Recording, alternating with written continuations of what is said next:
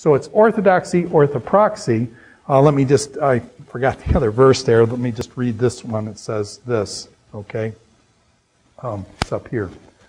Obey, he tells them of the Pharisees. He says, Obey what the Pharisees tell you. Obey what the Pharisees tell you, but not, do not do what they do. Obey what the Pharisees teach you, but do not do what they do. And so basically what he's saying is the Pharisees are hypocrites because they teach the right thing, but then they don't do the right thing. And he's saying, wait, you're my disciples. You teach and do. It's not enough to just know the words. You've got to be able to do it. So it's not just orthodoxy. And I've been in how many contexts where there was really a prize in this orthodoxy that we hold pure doctrine, the real doctrine of Christ from Scripture. And orthodoxy is really important. And to hold true doctrine based on Scripture about Christ, about God, about ourselves, about the world, those things are very, very important. Orthodoxy is very important. But there also has to be connected with that true uh, ways of thinking, true ways of doing. In other words, Christianity is about the head, yes. And by the way, it's not, Christianity is not just about the heart. Christianity is about the, our head, the way we think about things. It is much that, that our head. It is also about our heart, but it also is about our hands, what we do. Not just what we think, think, not just what we feel, but what we do. And so Jesus talks about our hands as well, what we do. Head, heart, heads, heart, and hands, all committed to be disciples. So do not obey what they say, but don't do what they do. So Christianity is a brotherhood, and this is what we just said, and therefore humility, um, humility, not power, is part of being a follower of Christ. A disciple of Christ is one who's humble. It's one who's humble, not into power and, and all those types of things. I often told my students there's, there's three bad things money, sex, and power. People tell you, watch out for these three things. These three things will get you money, sex, and power.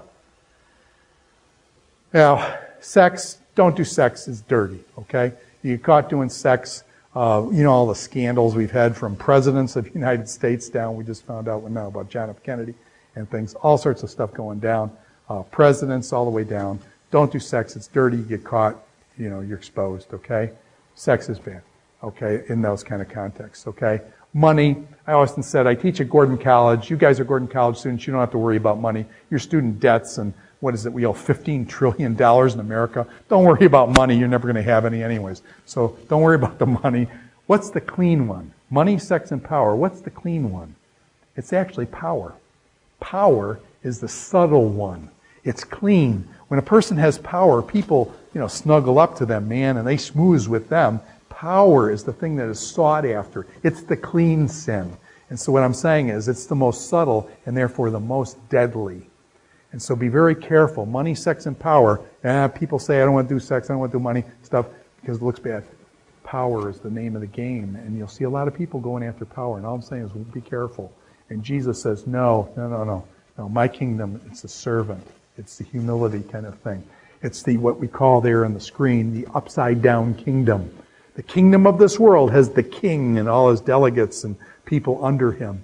In Christ's kingdom, what? The king becomes the servant of all. And so it's the kingdom upside down from what we see. So this is, you know, he's talking about discipleship of Christ and stuff. What separated the wise and the foolish? What separated the wise and the foolish man? Wise man built his house upon the rock, the foolish man built his house upon the sand. Matthew chapter 7, verse 24. What separated those two? Check this out. Let me just read this verse for you. Everyone who hears these words of mine and does not put them into practice is like a foolish man who built his house upon the sand. Everyone who hears the words and does not put them into practice is like the foolish man. So Christ again is emphasizing a disciple must be a doer of the word, not just a hearer only. Sounds like the book of James. Okay? Here's another one that I think is, is kind of stunning. Uh, and this one's uh, with Jesus' family. Do you remember in Matthew chapter 12, Jesus is out there and they say they come up to Jesus and they say, Jesus, your family's outside. They want to see you and things. And so, and Jesus responds like this. Then he points to his disciples He points to, they say, Jesus, your mother and brothers are here and stuff. Why don't you to see them and things? Jesus points to his disciples and says, These are my mother and my brothers. Anyone, now, who is Jesus' mother and brothers? He tells us explicitly here. What does it mean to be part of Jesus' family? What does it mean to be part of Jesus' family? Now, this is not a slam on his mother. This is not a slam on his mother or his brothers. As we said, James will be writing the book of James and Jude, uh, possibly, and his brothers of Jesus, and Mary, of course. Does Jesus take very, um, even till the end, does Jesus take care of his mother Mary? You remember Jesus is on the cross in the book of John. Jesus, while he's on the cross, where are the disciples? The disciples are running scared. Who's at the foot of the cross of Jesus as Jesus is dying? It's these women, the Marys swear half the people in the New Testament of women are all named Mary, okay? Mary Magdalene and Mary, uh, Mary whatever.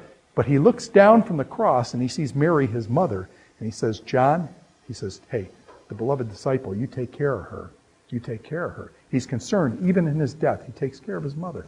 So Jesus is not demeaning his mother at all, but what he's saying is, who is my mother? Jesus is constituting kind of a new family. And what does it take to get into the family of Jesus? Jesus explains here how, what, is the, what are the entrance requirements to being a disciple, a, a follower of Jesus as part of his family. Anyone who does the will of my Father in heaven is my brother and sister and mother. Notice it says, it says, believe on the Lord Jesus Christ and you'll be saved. Is that what it says? No, it doesn't say that. It says, whoever does the will of my Father in heaven is my brother, sister, and mother. And so you get again the emphasis on orthopraxy, not orthodoxy here, but orthopraxy. He who does the will of my Father in heaven. So that's a really important thing, and that's uh, those are some tough things. Now,